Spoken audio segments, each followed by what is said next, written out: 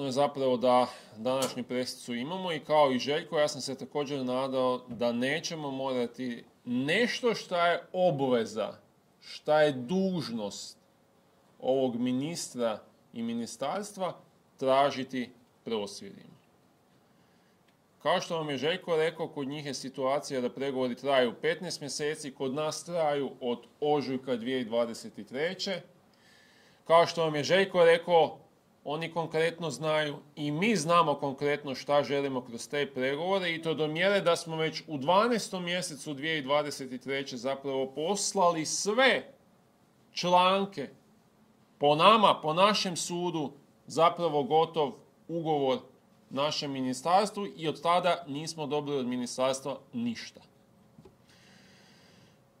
Razumno je čekati e, i imati strpljenja, možda mjesec, možda dva, možda i tri, možda i šest, ali baš devet i nakon što ste donijeli i prošli sve reforme, nakon što su prošli izbori, nakon što je ministarstvo kompletirano, to stvarno sad postaje već dalje bezobrazno.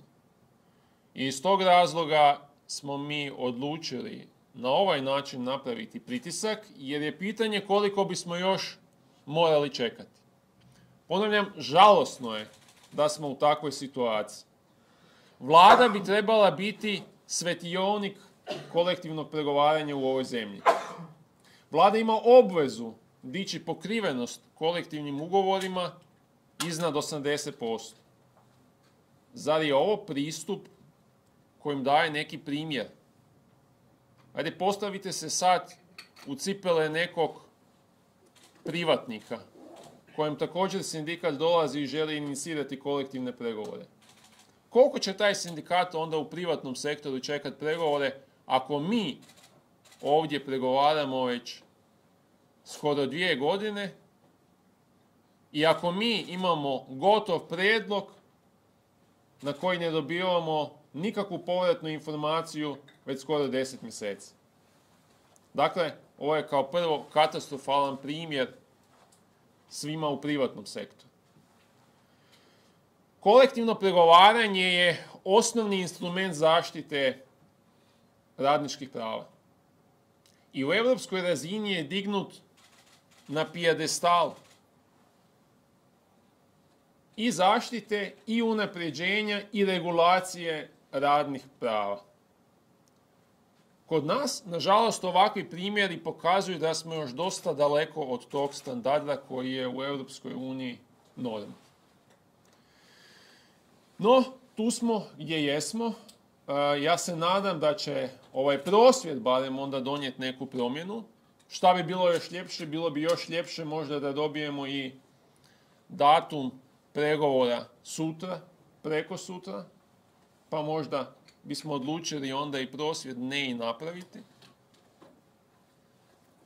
Ali nekako mi se čini da do toga e, neće doći. Jer je vlada zapravo imala priliku.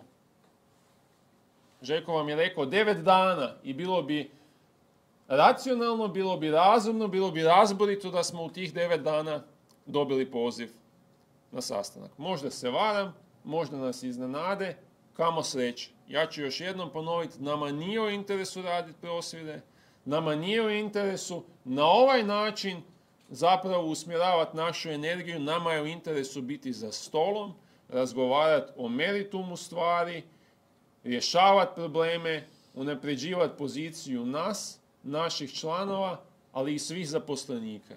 I to je izrazito bitno, kolegice i kolege.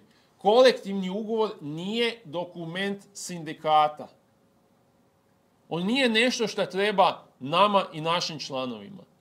Dakle, kolektivni ugovor je instrument koji podjednako kao što treba nama i našim članovima, treba i svim drugim zaposlenicima u sustavu i treba tom ministarstvu, treba toj vladi, jer on regulira i prava i obveze i druge strane. Dakle, ne samo zaposlenika. Stoga je taj pristup ignoriranja zapravo kolektivnih pregovora još čudniji, e, ja bih rekao još teži po vladu.